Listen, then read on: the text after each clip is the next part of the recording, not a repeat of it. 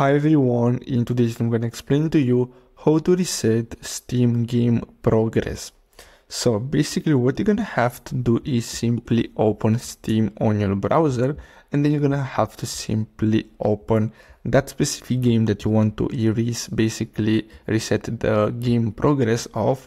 So let's say this one here and basically what you're going to have to do, so let me confirm this so basically what you're gonna have to do is simply copy the steam uh, id number which is this one here. You're gonna set the top in the url and basically what you're gonna have to do with that uh, basically you're gonna have to simply open the steam folder and then simply paste in that uh, specific uh, number. And basically what you're gonna have to do is simply delete all the files from this folder. And basically that's all you have to do in order to reset game progress on Steam. So I really hope you found this video helpful. Don't forget to like and subscribe and I'll see you in the next video.